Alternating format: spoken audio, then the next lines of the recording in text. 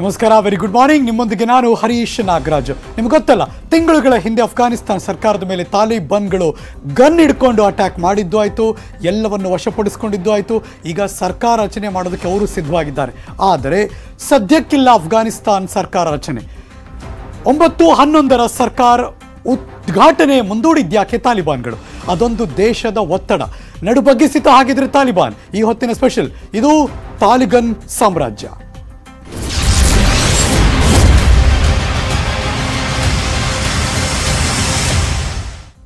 September ಹನ್ನೊಂದನೇ ತಾರೀಕು ಇಡೀ ವಿಶ್ವ ಒಂದು ಕಡೆ, ಅಮೇರಿಕಾದ ಕಡೆ ತಿರುಗಿ ನೋಡಿದಂತಹ ದಿವಸ ಅವತ್ತು ಇವತ್ತು ಅದೇ ದಿನಕ್ಕೆ ಬಂದಿದ್ದೀವಿ ನಾವು. ಅಫ್ಘಾನ್ನಲ್ಲಿ ತಾಲಿಬಾನ್ ಸರ್ಕಾರ ರಚನೆಗೆ ಅಡ್ಡಿ ಆತಂಕಗಳು ಶುರುವಾಗಿದೆ. ಇವತ್ತು ತಾಲಿಬಾನ್ ಸರ್ಕಾರದ ಉದ್ಘಾಟನೆ ಆಗುತ್ತೆ ಅಂತಿದ್ರು, ಆದರೆ ಆಗಲ್ಲ. ಯಾಕೆ ಅಂದರೆ ಅಮೆರಿಕಾದ ಭಯ. Breaking news.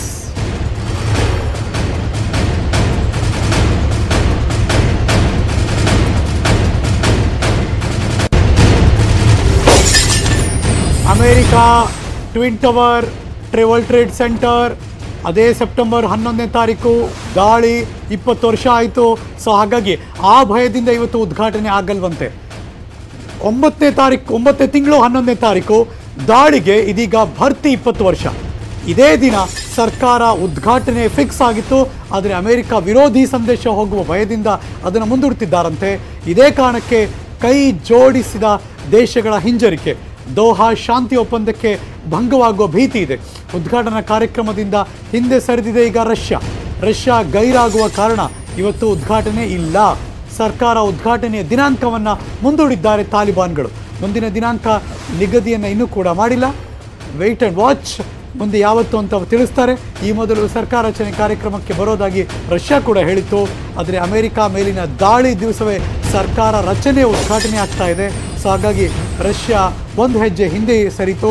ಒಂದು ವೇಳೆ ಅಮೆರಿಕಾದ ಮೇಲೆ ದಾಳಿ ನಡೆದ ದಿವಸನೇ ಸರ್ಕಾರ ರಚನೆ ಮಾಡಿದ್ರೆ ದೋಹಾ ಒಪ್ಪಂದ ಉಲ್ಲಂಘನೆ ಮಾಡದಂತೆ ಆಗುತ್ತೆ. ಸೊ ಹಾಗಾಗಿ ಶಾಂತಿ ಒಪ್ಪಂದ ಮುರಿದಂತೆ ಆಗುತ್ತೆ ಅನ್ನೋ ಕಾರಣಕ್ಕೆ ರಷ್ಯಾ ಕೂಡ ಈ ಕಾರ್ಯಕ್ರಮಕ್ಕೆ ಬರ್ತಾ ಇಲ್ಲ ಅನ್ನೋದು ಈಗ ಬಂದಿರುವಂಥ ಮಾಹಿತಿ. ಹಾಗಾಗಿ ಅದನ್ನು ಮುಂದೂಡ್ತಿದ್ದಾರಂತೆ.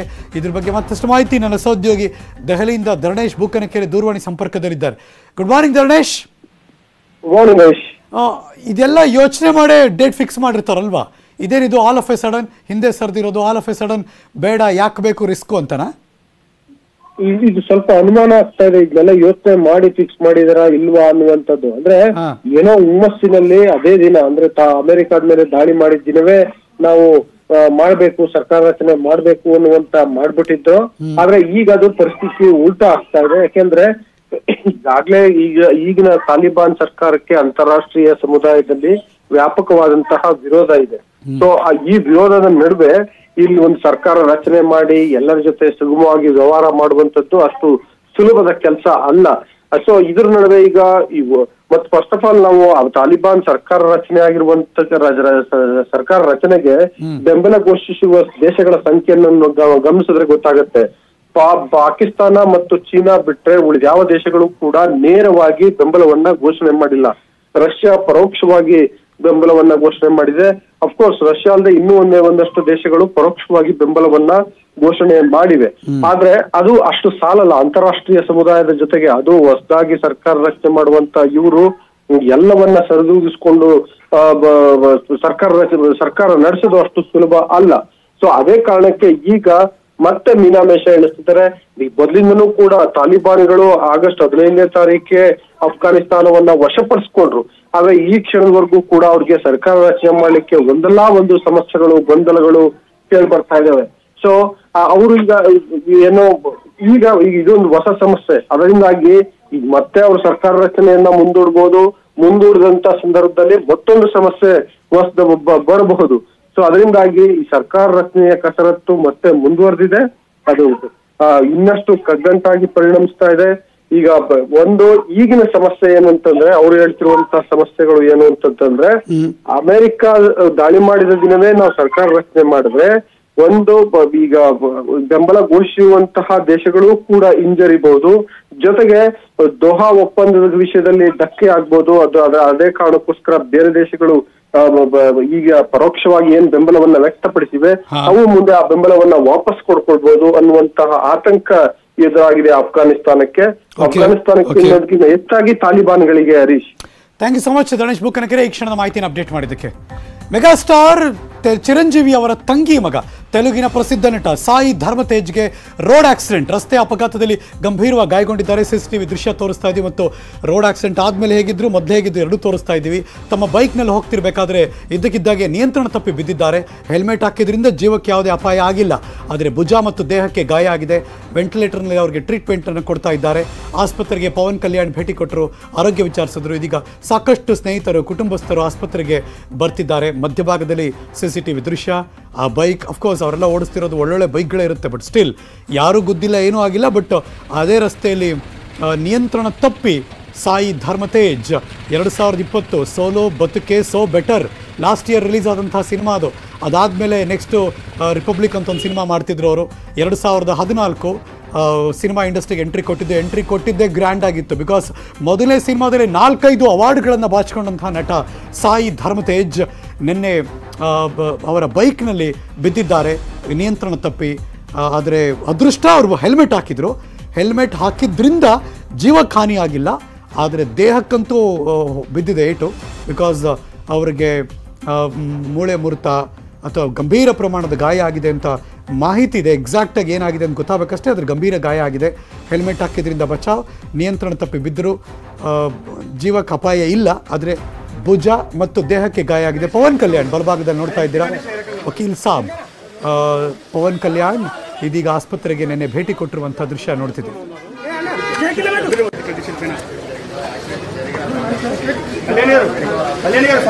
ಹೆಲ್ತ್ ಕಂಡೀಷನ್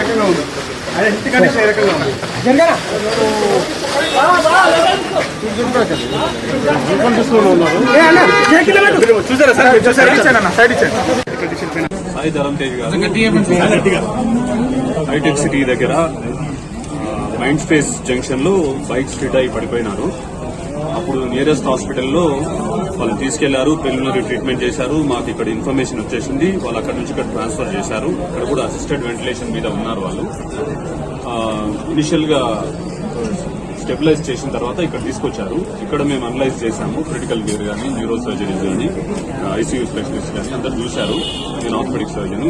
కాలర్ బోన్ ఉంది ఫ్రాక్చర్ బట్ దానికి ఎమర్జెన్సీగా ఏం చేయాల్సిన పని లేదు. ఆయనను క్లోజ్గా మానిటర్ చేస్తున్నాము. ఇప్పటికైతే స్టేబుల్గా ఉన్నాడు. కానీ నెక్స్ట్ నలభై ఎనిమిది గంటల వరకు ఏమీ చెప్పడానికి ఉండదు. ఎందుకు అంటేనంటే బైక్ నుంచి పడ్డప్పుడు ఎక్కడైనా ఇంజురీ కావచ్చు. దానికోసం మేము క్లోజ్గా మానిటర్ చేస్తాము చెక్ చేస్తూ ఉంటాము. మనం అందరం ఆయన కోసం ప్రే చేద్దాము will cross our fingers I think he'll be all right ఆయన తప్పకుండా కోలుకుంటారు సరే అంటే ఇప్పుడు వెంటిలేటర్ పైన వెంటిలేటర్ పైనే ఉన్నారు Ventilator, ventilator does not mean a bad thing. Any person who has an accident and at that time if the person we feel that he needs to support the respiration, we put them on the ventilator. Level bad about it, it's a very precautionary. ಗಣೇಶೋತ್ಸವದ ಸಂಭ್ರಮ, ನಿಯಮ ಮರೆತರು ಜನ. ರಾಜ್ಯಕ್ಕೆ ಹೊಸ corona ತಳಿ ಆಗಮನ, ಮೂರು ಹೊಸ ತಳಿ ಪ್ರವೇಶ. ಈ ಹೊತ್ತಿನ ಸ್ಪೆಷಲ್ ಮೂರನೇ ಅಲೆ ಆತಂಕ, ಇದು ಕೊರೋನಾ ಎಮರ್ಜೆನ್ಸಿ.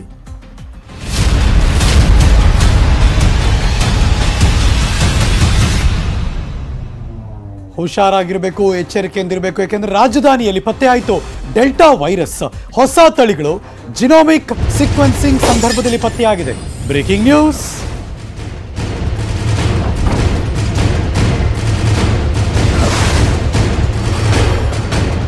ರಾಜಧಾನಿ ಬೆಂಗಳೂರಿನಲ್ಲಿ ಇಬ್ಬರಲ್ಲಿ ಡೆಲ್ಟಾದ ಹೊಸ ತಳಿ ಸೋಂಕು ಪತ್ತೆಯಾಗಿದೆಯಂತೆ.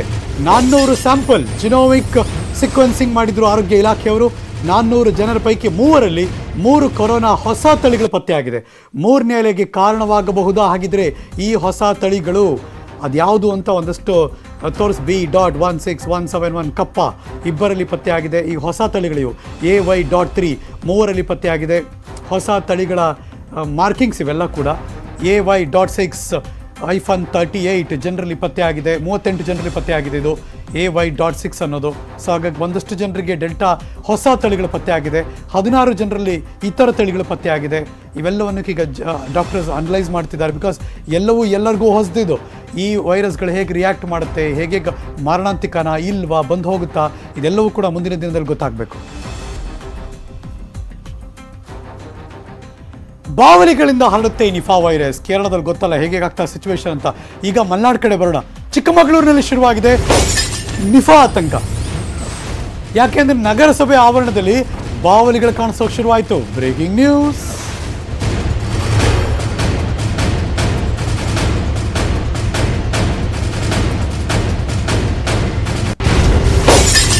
ಬಾವಲಿಗಳಿಂದಲೇ ಹರಡುತ್ತೆ ಎನ್ನಲಾದಂತಹ ಈ ವೈರಸ್ ಏನಿದೆ? ನಿಫಾ ವೈರಸ್ ಕೇರಳದಿಂದ ದೊಡ್ಡ ಮಟ್ಟದ ಎಚ್ಚರಿಕೆ ಇದೆ ಕರ್ನಾಟಕಕ್ಕೆ. ಹಾಗಾಗಿ ಕೇರಳದಿಂದ ಕರ್ನಾಟಕ ಬರಂಗೇ ಇಲ್ಲ ಒಂದು ಎರಡು ತಿಂಗಳು. ನಗರಸಭೆ ಡಿ ಸಿ ಕಚೇರಿ ಆವರಣದಲ್ಲಿ ಚಿಕ್ಕಮಗಳೂರಿನಲ್ಲಿ ಬಾವಲಿಗಳು ಕಾಣಿಸೋಕೆ ಶುರುವಾಯಿತು. ಜೋತು ಬಿದ್ದಿರೋ ಬಾವಲಿಯಿಂದ ನಿಫಾ ಹರಡುತ್ತಾ, ಕಾಫಿ ನಾಡಿಗೆ ಕಂಟಕ ಆಗುತ್ತಾ ಅನ್ನೋದು ಈಗ ಎಲ್ಲರೂ ಕೂಡ ಕಾಡ್ತಾ ಇರುವಂಥ ಪ್ರಶ್ನೆ. ಮೊದಲೆಲ್ಲ ಹಿಂಗೆ ಬಾವಲಿಗಳು ನೋಡ್ತಾ ಇದ್ರೆ, ಏ, ಬಾವಲಿ ಅಂತ ಏನು ಸುಮ್ಮನೆ ಹೊಟ್ಟೋಗ್ತಾ ಇದ್ರು? ಇವಾಗ ಹಂಗಲ್ಲ. ಬಾವಲಿ ಅಂತ, ಅಯ್ಯೋ, ಬಾವಲಿನ? ಅನ್ನೋ ಥರ ಆಗೋಗಿದೆ ಬಿಕಾಸ್ ಅದು ನಿಫಾ ವೈರಸ್ ಅಂತ. ಚಿಕ್ಕಮಗಳೂರಿನ ಜನರಲ್ಲಿ ಈ ಆತಂಕ ಶುರುವಾಗೋಗಿದೆ. ಕರೋನಾ ನಿಫಾ ಆತಂಕದ ಬೆನ್ನಲ್ಲೇ ಕೇರಳ ಕಂಟಕ ಇದೆ. ಕೇರಳ ಪ್ರವಾಸಿಗರ ನಿಷೇಧಕ್ಕೂ ಕೂಡ ಸ್ಥಳೀಯರು ಒತ್ತಾಯ ಮಾಡ್ತಿದ್ದಾರೆ. ಇದಿಷ್ಟು ಚಿಕ್ಕಮಗಳೂರು ಭಾವದಿಂದ ಭಾಗದಿಂದ ಬರ್ತಿರುವಂಥ ಅಪ್ಡೇಟ್ಸ್ ಇದು ಚಿಕ್ಕಮಗಳೂರು ನಗರಸಭೆ ಆವರಣ. ಬಾವಲಿಗಳ ನೇತಾಡ್ತಾ ಇದೆ. ಒಂದು ಸ್ವಲ್ಪ ಯಾ ಮಾರಿದ್ರೆ ಮನುಷ್ಯ ನೇತಾಡ್ಬೇಕೀಗ ಹಂಗಾಗ್ಬಿಡುತ್ತೆ. ಸೊ ಹಾಗಾಗಿ ಕೇರ್ಫುಲ್, ಹುಷಾರು. ಏನಂದ್ರೆ ಕೇರಳಕ್ಕೂ ಚಿಕ್ಕಮಗಳೂರು ಗಡಿ ಭಾಗ ಆಗಿರೋದ್ರಿಂದ ಬಹಳಷ್ಟು ನೆಂಟಿದೆ. ಹಾಗಾಗಿ ಇದು ಒಂದು ಬಾವಲಿಗಳಿಂದ ಹಬ್ಬುತ್ತಾ ಇದೆ ಅನ್ನೋದೊಂದು ಸೈಂಟಿಫಿಕ್ ಆಗಿ ಪ್ರೂವ್ ಆಗಿದೆ.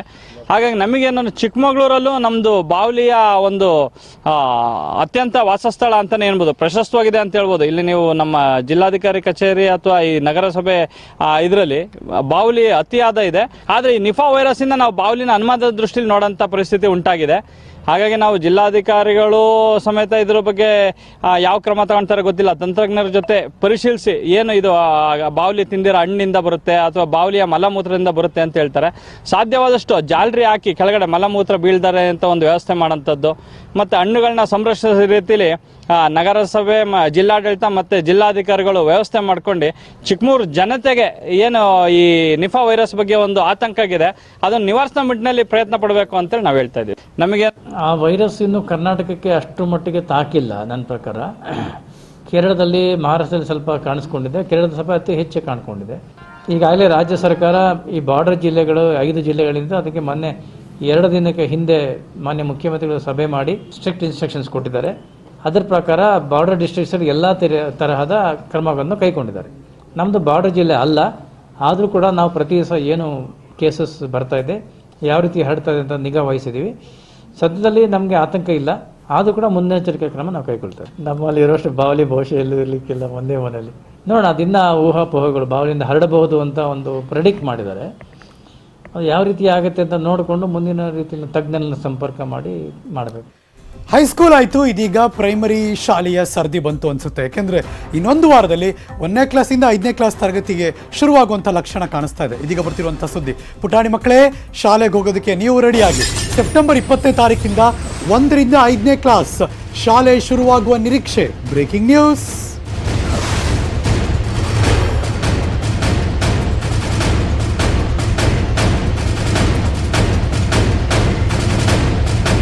ಆರನೇ ಕ್ಲಾಸಿಂದ ಈಗಾಗಲೇ ಮಕ್ಕಳು ಶಾಲೆಗೆ ಹೋಗ್ತಿದ್ದಾರೆ. ಇನ್ನು ಒಂದನೇ ಕ್ಲಾಸಿಂದ ಐದನೇ ಕ್ಲಾಸ್ ಆ ಮಕ್ಕಳು ಶಾಲೆಗೆ ಹೋಗುವಂಥ ಸರದಿ ಸೆಪ್ಟೆಂಬರ್ ಇಪ್ಪತ್ತನೇ ತಾರೀಕಿಂದ. ಆದರೆ ಸರ್ಕಾರ ಅಧಿಕೃತವಾಗಿ ಆದೇಶ ಹೊರಡಿಸಬೇಕು. ಎಕ್ಸ್ಪೆಕ್ಟೆಡ್ ಫ್ರಮ್ ಸೆಪ್ಟೆಂಬರ್ ಟ್ವೆಂಟಿ ಅಂತ. ಈ ಕುರಿತು ಸರ್ಕಾರದಿಂದ ಘೋಷಣೆ ಆಗಬೇಕು. ನ್ಯೂಸ್ ಏಟೀನ್ಗೆ ಶಿಕ್ಷಣ ಇಲಾಖೆ ಮೂಲಗಳಿಂದ ಸಿಕ್ಕಿರುವಂಥ ಮಾಹಿತಿ ಇದು. ಮುಂದಿನ ವಾರ ತಜ್ಞರ ಸಭೆ ನಡೆಸಿ ನಿರ್ಧಾರವನ್ನು ಪ್ರಕಟ ಮಾಡುವಂಥ ಸಾಧ್ಯತೆ ಇದೆಯಂತೆ. ಒಂದರಿಂದ ಐದನೇ ಕ್ಲಾಸ್ ವಿದ್ಯಾರ್ಥಿಗಳಿಗೆ ಆನ್ಲೈನ್ ಕ್ಲಾಸ್ ಕಡ್ಡಾಯವಿಲ್ಲ. ಭೌತಿಕ ತರಗತಿ ನಡೆಸೋದಕ್ಕೆ ಸರ್ಕಾರ ಒಪ್ಪಿಗೆ ನೀಡಿದ್ದರೂ ಮಕ್ಕಳನ್ನ ಶಾಲೆಗೆ ಕಳಿಸೋದಕ್ಕೆ ಪೋಷಕರು ಒಪ್ಪಿಗೆ ಪತ್ರ ಕಡ್ಡಾಯವಾಗಿ ಕೊಡಬೇಕು. ಈಗಿನಂತೆ ಹೈಸ್ಕೂಲ್ ರೀತಿ ಪಾಳಿಯಲ್ಲಿ ಶಾಲೆ ನಡೆಸೋದಕ್ಕೆ ಸೂಚನೆ ಕೊಡುವಂತಹ ಸಾಧ್ಯತೆ ಇದೆ. ಆದರೆ ನರ್ಸರಿ ಶಾಲೆ ತೆರೆಯೋದಕ್ಕೆ ಇನ್ನೂ ಕೂಡ ಸರ್ಕಾರ ಗೊಂದಲದಲ್ಲಿದೆ.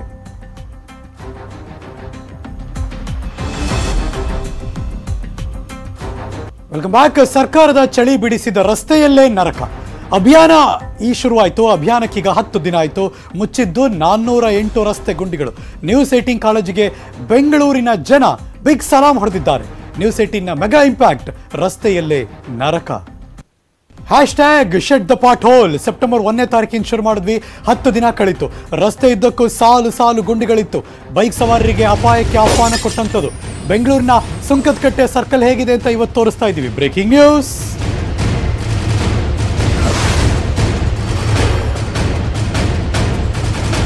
ಬೆಂಗಳೂರಿನ ಸುಂಕದಕಟ್ಟೆ ಸರ್ಕಲ್ ರಸ್ತೆಯ ದುಸ್ಥಿತಿ ತೋರಿಸ್ತೀವಿ ನಾವೀಗ. ಪೈಪ್ ಲೈನ್ ಕಾಮಗಾರಿ ಮಾಡಿ ಹಾಗೆ ಬಿಟ್ಟರು ಅವ್ರು ಹೊರಡ್ತಾ ಇದ್ರು. ಅಗ್ಗಿಯವ್ರು ಅವ್ರು ಅಗಿತಿರ್ತಾರೆ, ಇನ್ನೇನು ಹಾಕೋರು ಹಾಕ್ತಾರೆ, ಹಾಕಿದ್ಮೇಲೆ ಅವ್ರು ಹೋಯ್ತಾ ಇರ್ತಾರೆ. ಇವ್ರು ಯಾರು ಬಂದು ಮುಚ್ಚಲ್ಲ, ಅದು ಹಂಗಂಗೆ ಮಳೆ ಬರ್ತಿರುತ್ತೆ, ಹಳ್ಳ ಆಗ್ತಿರುತ್ತೆ, ದೊಡ್ಡ ದೊಡ್ಡ ಲೋಡ್ ಗಾಡಿಗಳು ಬಂದರೆ ಮುಗೀತು ಕತೆ. ಅಂದರೆ ಉಡಾಫೆ ಯಾರು ಅದ್ರ ಬಗ್ಗೆ ತಲೆ ಕೆಡಿಸ್ಕೊಳ್ಳಲ್ಲ ಅನಾಹುತ ಆದ್ಮೇಲೆ ಓ ಅಂತ ಓಡ್ಬತ್ತಾರಾಗ ಅವ್ರ ಮನೆ ರಸ್ತೆ ಅಲ್ವಲ್ಲ, ಹಾಗಾಗಿ ಈ ಕತೆ ಅಷ್ಟೇ. ಬಿ ಬಿ ಎಂ ಪಿ ಪ್ರಮುಖ ರಸ್ತೆಗಳ ಗತಿನೇ ಹೀಗಾದರೆ ಬೇರೆ ಕಡೆ ಕತೆ ಏನು? ಇದು ಸುಂಕದ ಕಟ್ಟೆ ಸರ್ಕಲ್ ಆ ಸರ್ಕಲ್ನ ಬಲಭಾಗದೊಳಗೆ ಹೆಂಗಿದೆ? ಆಹಾ ಹಾ ಹಾ ಮುಗೀತು ಕತೆ. ಪೈಪ್ ಲೈನ್ ಹಾಕಿದ್ರು ತಾನೆ. ಅದು ಹಾಕಿದ ತಕ್ಷಣ ನೆಕ್ಸ್ಟ್ ಒಂದು ಟೈಮ್ ತಗೊಂಡು ಅದು ನೀಟಾಗಿ ಮತ್ತೆ ಟಾರ್ ಹಾಕಬೇಕು. ಇಲ್ಲ, ಯಾರು ಕೇಳ್ತಾರೋ ಅವ್ರು ಹಾಕಬೇಕಲ್ವಾ? ಅದನ್ನು ಮಾನಿಟರ್ ಮಾಡಬೇಕು. ನನ್ನ ಸದ್ಯೋಗಿ ಶರಣು ಹಂಪಿ ಅಲ್ಲಿ ಹೋಗಿದ್ರು. ಅಲ್ಲಿಂದ ಗ್ರೌಂಡ್ ರಿಪೋರ್ಟ್ ಕಳಿಸ್ಕೊಟ್ಟಿದ್ದಾರೆ. O T Sharanu Hampi. ಪ್ರತಿ ವರ್ಷ ಲೆಕ್ಕಾಚಾರದಲ್ಲಿ ಕೋಟ್ಯಂತರ ರೂಪಾಯಿಯನ್ನ ಇನ್ವೆಸ್ಟ್ ಮಾಡುತ್ತೆ. ರೋಡ್ ನಿರ್ಮಾಣ ಮಾಡ್ತಾ ಇದೀವಿ, ಗುಂಡಿಗಳನ್ನೆಲ್ಲವನ್ನು ಕೂಡ ಸಂಪೂರ್ಣವಾಗಿ ಮುಚ್ಚಿದೀವಿ ಅಂತ. ಆದ್ರೆ ಈಗ ನಾವು ತೋರಿಸ್ತಿರುವಂತ ರಸ್ತೆ ಏನಿದೆ, ರಸ್ತೆ ಇದ್ದಕ್ಕೂ, ಬರೀ ಒಂದ್ ಕಡೆ, ಎರಡ್ ಕಡೆ ಅಲ್ಲ, ರಸ್ತೆ ಇದ್ದಕ್ಕೂ, ಕೆಳಗಡೆಯಿಂದನೂ ಕೂಡ ಮೇಲ್ಭಾಗದವರೆಗೂ ಕೂಡ ಕಲ್ಲು ಬೆಂಚ್ಗಳೇ ಕಾಣಿಸ್ತಾ ಇದೆ. ಇದು ಬೆಂಗಳೂರಿನ ರೋಡ್ನ ಪರಿಸ್ಥಿತಿ. ಇದು ಬೆಂಗಳೂರು ಮಾಗಡಿ ರೋಡ್ ಇರೋದು ಸುಂಕದಕಟ್ಟೆ ಏರಿಯಾ ಕಡೆಗೆ ಹೋಗುವಂತ ಈ ರಸ್ತೆಯಲ್ಲಿ ಕೆಳಭಾಗದಿಂದಲೂ ಕೂಡ ಮೀನ್ಸ್ ನೀವು ನೋಡ್ತಾ ಹೋಗ್ಬೋದು, ಇದು ಅಪ್ ಪ್ಲೇಸ್ ಅಲ್ಲಿ ಇದೆ ಕೆಳಭಾಗದಿಂದಲೂ ಕೂಡ, ಮೇಲ್ಭಾಗದವರೆಗೂ ಕೂಡ ಹೋಗುವಂತ ರಸ್ತೆ ಏನಿದೆ. ಸಂಪೂರ್ಣವಾಗಿ ಇದೇ ರೀತಿಯಾಗಿ ಒಂದು ಸಣ್ಣ ಮಳೆಗೆ ಏನಾದ್ರೂ ಬಂತಂದ್ರೆ, ಇನ್ನೂ ಅಪಾಯ, ಕಟ್ಟಿಟ್ಟ ಬುತ್ತಿ, ಇಂಥ ಇದರಲ್ಲಿ ದ್ವಿಚಕ್ರ ವಾಹನ ಸವಾರರಿಗೆ ಇದು ಡೇಂಜರ್ ರೋಡ್ ಅಂತಾನೆ ಹೇಳ್ಬೇಕಾಗ್ತದೆ.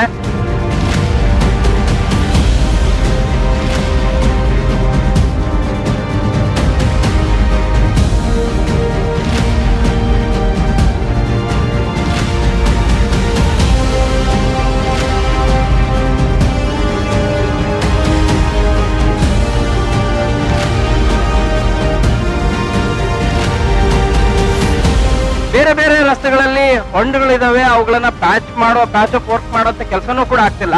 ಆದ್ರೆ ಈ ಇಡೀ ರಸ್ತೆ ಏನಿದೆ, ಇಲ್ಲಿ ಪೈಪ್ ಲೈನ್ ತೆಗೆದಿರ್ಬೇಕು. ಈ ಕಾರಣಕ್ಕಾಗಿ ಇಷ್ಟು ಮಾತ್ರ ಇಲ್ಲೇನ್ ಕಾಣಿಸ್ತಾ ಇದೆ, ಇದನ್ನ ಮುಚ್ಚುವಂತ ಕೆಲಸವನ್ನಾದ್ರೂ ಮಾಡ್ಬೇಕಲ್ಲ. B W S S B BESCOM ಇರ್ಬೋದು. ಸಂಬಂಧಪಟ್ಟಂತ ಇಲಾಖೆಯವರು ಕೂಡ ತಮ್ಮ ಕೆಲಸ ಆಯ್ತು, ತಾವಾಯ್ತು, ತಮ್ಮ ಕೆಲಸ ಆಯ್ತು. ಇಷ್ಟು ಮಾತ್ರ ಮಾಡ್ತಾರೆ ಹೊರತು ಇದನ್ನ ಕ್ಲೋಸ್ ಮಾಡ್ಬೇಕಲ್ಲ. ಇಲ್ಲದೆ ಇದ್ರೆ ಹೋಗುವಂತ ಬೈಕ್ ಸವಾರರಿಗೆ ಎಷ್ಟು ಅನಾಹುತಗಳಾಗತ್ತೆ, ಆಗುವಂತ ಅನಾಹುತಗಳಿಗೆ, ಅಪಘಾತಗಳಿಗೆ ಯಾರು ಹೊಣೆ ಅನ್ನುವಂತ ಪ್ರಶ್ನೆಗೆ ಬಿಬಿಎಂಪಿ ಉತ್ತರ ಕೊಡಬೇಕಾಗಿದೆ. ಬೆಂಗಳೂರಿಂದ ಕ್ಯಾಮರಾ ಪರ್ಸನ್ ಶಿವಪ್ಪ ಜೊತೆ ಶರಣು ಹಂಪಿ, ನ್ಯೂಸ್ ಏಟಿಂಗ್ ಕನ್ನಡ.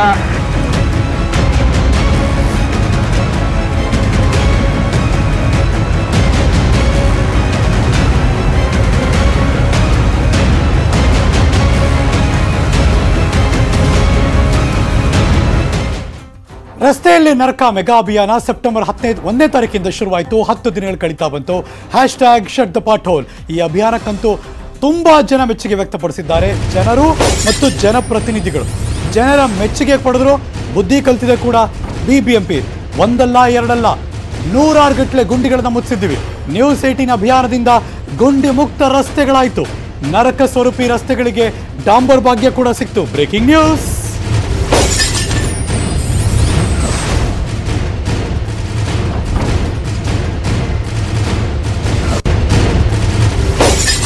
ನಿಮಗೆ ಅನ್ಸಿರುತ್ತೆ. ಬೆಂಗಳೂರಿನ ಎಷ್ಟೋ ಕಡೆ ಈಗ ಗುಂಡಿ ಮುಚ್ಚಕ್ಕೆ ಶುರು ಮಾಡಿದ್ರು. ಅರೇ ಮೊನ್ನೆ ತಾನೇ ಇರಲಿಲ್ವಲ್ಲ? ಇವಾಗ ಮುಚ್ತಾ ಇದ್ದಾರಲ್ಲ? ಇವಾಗೆಲ್ಲ ಟಾರ್ ಹಾಕ್ತಿದಾರಲ್ಲ ಅಂದರೆ ಆ ಚಳಿ ಬಿಡಿಸಿದ್ದೀವಿ ನಾವು ಅಂತ. ಈಗಲೂ ಹೇಳ್ತಾ ಇದ್ದೀನಿ, ನಿಲ್ಸಲ್ಲ ಇದನ್ನು.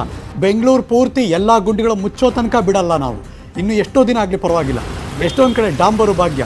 ಸಿ ಇದನ್ನು ತೋರಿಸ್ತೀವಿ. ನಾವಾಗಲೇ ಮೊದಲನೇ ದಿನನೇ ಹೇಳಿದ್ದೆ. ರಸ್ತೆಯಲ್ಲಿ ನರಕ ಅಂತ ಹೆಂಗೆ ಹೇಳಿದ್ದೀವಿ ಬೆಂಗಳೂರು ಪೂರ್ತಿ ಟಾರ್ ಹಾಕಿ ಗುಂಡಿ ಮುಚ್ಚಿದ್ರೆ ರಸ್ತೆಯಲ್ಲಿ ಸ್ವರ್ಗ ಅಂತಲೂ ತೋರಿಸ್ತೀವಿ ಅಂತ. ಇಂಪ್ಯಾಕ್ಟ್ ಆಗಿದ್ದು ತೋರಿಸ್ತಾ ಇದ್ದೀವಿ. ಬೆಂಗಳೂರಿನ ಹಲವಾರು ಕಡೆ ಈಗ ನಾವು ಲೆಕ್ಕ ಹಾಕಿರೋದು ನಾನ್ನೂರ ಎಂಟು ಗುಂಡಿಗಳನ್ನು ಮುಚ್ಚಿದ್ದಾರೆ. ಇದು ಶೇಷಾದ್ರಿಪುರಮು ಅಂಡರ್ ಪಾಸು. ಅಯ್ಯೋಯ್ಯೋ ಇಲ್ಲಿ ಭಯಂಕರವಾಗಿತ್ತು. ಯಾರು ಓಡಾಡ್ತಿರ್ಲಿಲ್ಲ. ಶಿವಾಜಿನಗರ, ಮಂಗನಪಾಳ್ಯ, ಎಲ್ಲ ಕಡೆ ನಾವು ನ್ಯೂಸ್ ಮಾಡಿದ್ವಿ. ಕಂಪ್ಲೀಟ್ ರಸ್ತೆ ಹೆಂಗಿದೆಯಪ್ಪ? ಇದು ನರಕ ಇದು ಅಂತ ತೋರಿಸಿದ್ವಿ. ಈಗೆಲ್ಲ ಕಡೆ ಸುಮ್ಮನೆ ಅದೇ ಕ್ಯಾಮ್ರಾ ಓಡಾಡಕ್ಕೆ ಶುರು ಮಾಡಿದ್ವಲ್ಲ? ಓ ಟಾರ್ ಹಾಕಿದ್ದಾರೆ ಓ, ಗುಂಡಿ ಮುಚ್ಚಿದ್ದಾರೆ ಅಂತ ಅನಿಸ್ತಾ ಇದೆ. ಆ ಎಲ್ಲ ಗುಂಡಿ ಮುಚ್ಚಿರುವ ದೃಶ್ಯ ಕೂಡ ತೋರಿಸ್ತಾ ಇದೆ. Big impact hashtag shut the pothole news eighteen ಕನ್ನಡದ ಅಭಿಯಾನಕ್ಕೆ ಸಿಕ್ಕಿರೋ ರೆಸ್ಪಾನ್ಸ್ ಇದು. ಸಾವಿರಾರು ಗಟ್ಟಲೆ ಜನ ಪ ಯಾರಿದ್ದಾರೆ ಸಾರ್ವಜನಿಕರು? ನೀವು ಕೂಡ ನಮಗೆ ವಿಜುವಲ್ಸ್ ಕಳಿಸ್ಕೊಟ್ರಿ. ನಿಮ್ಮ ಮನೆ ಹತ್ರ ಆಫೀಸ್ ಹತ್ರ, ಬೇರೆ ಬೇರೆ ಕಡೆ ಓಡಾಡಬೇಕಾದ್ರೆ ನೀವೇ ರಿಪೋರ್ಟಿಂಗ್ ಮಾಡಿದ್ವಿ, ಕಳಿಸ್ಕೊಟ್ರಿ. ಅದೆಲ್ಲ ಕೂಡ ತೋರಿಸಿದ್ವಿ ನಾವು. Finally B B M P ಎಚ್ಚೆತ್ಕೊಂಡು ಎಲ್ಲ ಕಡೆಗೆ ಮುಚ್ಕೊಂಬರ್ತಾ ಇದ್ದಾರೆ ಗುಂಡಿಗಳನ್ನು. ಇನ್ನು ಮುಂದಕ್ಕೂ ತೋರಿಸ್ತಾ ಇರ್ತೀವಿ. ಅವ್ರು ಮುಚ್ತಾನೇ ಇರಿ. ಮಳೆ ನಿಂತ ಮೇಲೆ ಕಂಪ್ಲೀಟಾಗಿ ಎಲ್ಲ ಗುಂಡಿನ ಮುಚ್ತೀವಿ ಅಂತ ಹೇಳಿದ್ದಾರೆ. ಮುಚ್ಚೋ ತನಕ ಮಳೆ ನಿಲ್ಲಿ ಬಿಡಲಿ. ನಮ್ಮ ರಿಪೋರ್ಟಿಂಗ್ ನಿಲ್ಲಲ್ಲ. ನಾವು ಮುಂದುವರಿಸ್ತಾನೆ ಇರ್ತೀವಿ, ತೋರಿಸ್ತಾನೆ ಇರ್ತೀವಿ. Hashtag shut hole welcome back ಮಧ್ಯರಾತ್ರಿ ಮಚ್ಚಿಡಿದು ಅಪರಿಚಿತ ವ್ಯಕ್ತಿಯೊಬ್ಬ ಓಡಾಡಿದ ಘಟನೆ ನಡೆದಿದೆ. ಇದು ರಾಯಚೂರಿಂದ ಬರ್ತಿರುವಂಥ ಸ್ಟೋರಿ ರಾಯಚೂರಿನ ಲಿಂಗಸಗೂರಲ್ಲಿ ನಡೆದಿದೆ. ರಾಯಚೂರಿನ ಲಿಂಗಸಗೂರು ವಿವೇಕಾನಂದ ಬಡಾವಣೆ. ಇದು ಅಪರಿಚಿತನೊಬ್ಬ ಮಚ್ಚಿಡ್ಕೊಂಡು ಓಡಾಡ್ತಾ ಇದ್ದಾನೆ. ಅರೆ ಅಪರಿಚಿತ ವ್ಯಕ್ತಿಯ ನಡವಳಿಕೆ ಸಿ ಟಿ ವಿ ಕ್ಯಾಮ್ರಾದಲ್ಲಿ ಸೆರೆಯಾಗಿದೆ. C C T V video ನೋಡಿದಂಥ ಸ್ಥಳೀಯರಿಗೆ ಆತಂಕಗೊಂಡಿದ್ದಾರೆ. ಇವನು ಯಾರು ನೋಡುತ್ತಿದ್ದ ಈ ಥರ ಮಚ್ಚಿಡ್ಕೊಂಡು ಅಂತ ಆತನ್ನು ಅರೆಸ್ಟ್ ಮಾಡಬೇಕು ಅಂತ ಒತ್ತಾಯಿಸ್ತಾ ಇದ್ದಾರೆ. ಲಿಂಗಸೂರಿನ ವಿವೇಕಾನಂದ ನಗರದಲ್ಲಿ ಇರ್ತಕ್ಕಂಥ ಶಿವಯ್ಯ ಮನೆಗೆ ಕನ್ನ ಹಾಕಿ ಅವನ ಕೈಯಲ್ಲಿರ್ತಕ್ಕಂಥ ಮಚ್ಚು ತಗೊಂಡು ಅವ್ರ ಮನೆಯ ಕೀಲಿ ಮುರಿದಿರ್ತಾನೆ. ಆದ ಕಾರಣ ಲಿಂಗೂರಿನ ಜನತೆ ಪರವಾಗಿ ನಾವು ಪೊಲೀಸರಲ್ಲಿ ಕೇಳಿಕೊಳ್ಳೋದೇನೆಂದರೆ ನೀವು ನಿಮ್- ನಿಮಗೆ ನಾವು ಸಹಕಾರ ಕೊಡ್ತೇವೆ, ನಮಗೂ ನೀವು ಸಹಕಾರ ಕೊಡಿ. ಆದ ಕಾರಣ ವಿಜಯನಗರ ಜಿಲ್ಲೆಯ ಹೊಸಪೇಟೆಯಲ್ಲಿ ಭೀಕರ ರಸ್ತೆ ಅಪಘಾತ ಆಗಿದೆ.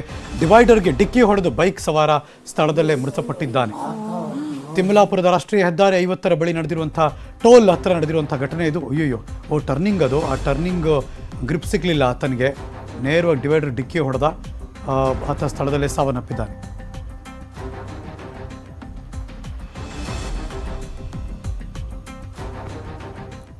ಅದಕ್ಕೆ ಹೇಳಿದ್ದು speed thrills but it kills ಅಂತ. ಕೋವಿಡ್ ಆತಂಕದ ನಡುವೆ ಕೂಡ ನಡೀತಿರುವ ವಿಶ್ವವಿಖ್ಯಾತ ಮೈಸೂರು ದಸರಾ ಏನಿದೆ ಅದು ಸರಳವಾಗಿ ಆಚರಣೆ ಮಾಡಲಾಗುತ್ತೆ. ಕೆಲವೇ ದಿನಗಳ ಮಾತ್ರ ಬಾಕಿ ಇದೆ. ದಸರಾದ ಜಂಬೂ ಸವಾರಿಗೆ ಕೊಡಗು ಜಿಲ್ಲೆ ಕುಶಾಲನಗರ ತಾಲೂಕಿನ ದುಬಾರೆ ಸಾಕಾನೆ ಶಿಬಿರದಿಂದ ಮೂರು ಆನೆಗಳ ಆಯ್ಕೆಯಾಗಿದೆ. ಐವತ್ತೆಂಟು ವರ್ಷದ ವಿಕ್ರಮ ನಲವತ್ನಾಲ್ಕು ವರ್ಷದ ಕಾವೇರಿ ಮತ್ತು ನಲವತ್ತ್ಮೂರು ವರ್ಷದ ಧನಂಜಯ ಆನೆಗಳು ಭಾಗವಹಿಸ್ತಾ ಇದೆ. ವಿಕ್ರಮ ಆನೆ ಎರಡು ಸಾವಿರದ ಎಂಟರಿಂದ ಹನ್ನೆರಡು ವರ್ಷದಿಂದ ಮೈಸೂರು ರಾಜರ ಪಟ್ಟದ ಆನೆಯಾಗಿ ಕಾರ್ಯನಿರ್ವಹಿಸ್ತಾ ಇದೆ. ಮತ್ತೊಂದು ಆನೆ ಕಾವೇರಿ ಇದುವರೆಗೆ ಏಳು ಬಾರಿ ದಸರಾ ಅಂಬಾರಿ ಜೊತೆ ಹೆಜ್ಜೆ ಹಾಕಿದೆ. ಇನ್ನು ಧನಂಜಯ ಆನೆ ಅಂಬಾರಿ ಹಿಂದಿನ ಸಾಲಿನಲ್ಲಿ ಸಾಗಲಿದ್ದಾನೆ. ಇಲ್ಲಿಂದ ಧನಂಜಯ ಕಾವೇರಿ ವಿಕ್ರಮ ಮೂರು ಸೆಲೆಕ್ಟ್ ಉಂಟು. ದಸರಾಕ್ಕೆ ಸೆಲೆಕ್ಟ್ ಆಗಿದೆ. ಕಾವೇರಿ ಏಳು ವರ್ಷ ಹೋಗಿದೆ. ಆ, ಧನಂಜಯ ಇದು ಮೂರನೇ ಬಾರಿ, ಮತ್ತು ವಿಕ್ರಮ ಒಂದು ಎರಡು ಎಂಟು ವರ್ಷ ಹೋಗಿದೆ. ಈಗ ಆನೆಗೆ ಎಲ್ಲ ಸಿದ್ಧತೆಗಳೆಲ್ಲ ಮಾಡ್ಕೊಂಡಿದ್ದೀವಿ. ಆನೆ ಎಲ್ಲ ಊಟ ತಿಂಡಿಲೆಲ್ಲ ಚೆನ್ನಾಗಿ ಕೊಡ್ತಾ ಇದ್ದೀವಿ ಏನು ತೊಂದರೆ ಏನಿಲ್ಲ. ಆರೋಗ್ಯವಾಗಿದೆ. ವರ್ಷ ವರ್ಷ ಇಲ್ಲಿಂದ ಆರು ಆನೆ ಹೋಯ್ತಿತ್ತು. ಈ ವರ್ಷ ಮೂರು ತಾಯಿ ಆಶೀರ್ವಾದದಿಂದ ಈ ವರ್ಷಕ್ಕೆ ಮುಂದೆ ಪುನಃ ಎರಡನೇ ವಿಕ್ರಮನೇ ಹದಿನೆಂಟು ವರ್ಷದಿಂದ ದಸರಾಗೆ ಹೋಯ್ತಿದೆ. ವಿಕ್ರಮನಿಗೆ ಪಟ್ಟದನೆಯನ್ನು ಜವಾಬ್ದಾರಿಯನ್ನು ವಹಿಸಿದ್ದಾರೆ.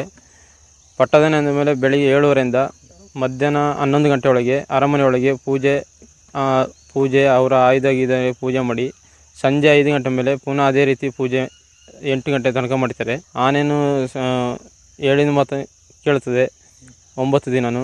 ಬೆಳಿಗ್ಗೆ ಏಳುವರೆಗೆ ಆ, ಅರಮನೆ ಒಳಗೆ ಹೋದಾಗ ದೇವರನ್ನ ಮೈ ಮೇಲೆ ಕಟ್ಟಿ ಆಯುಧಗಳನ್ನೆಲ್ಲ ಕಟ್ಟಿ ಪುನಃ ಐದುವರೆಗೆ ಪೂಜೆ ಮಾಡಿ ಅಲ್ಲಿಂದ ಸಂಜೆ ರಾತ್ರಿ ಎಂಟು ಗಂಟೆಗೆ ವಾಪಸ್ ಬರ್ತದೆ ಆನೆ.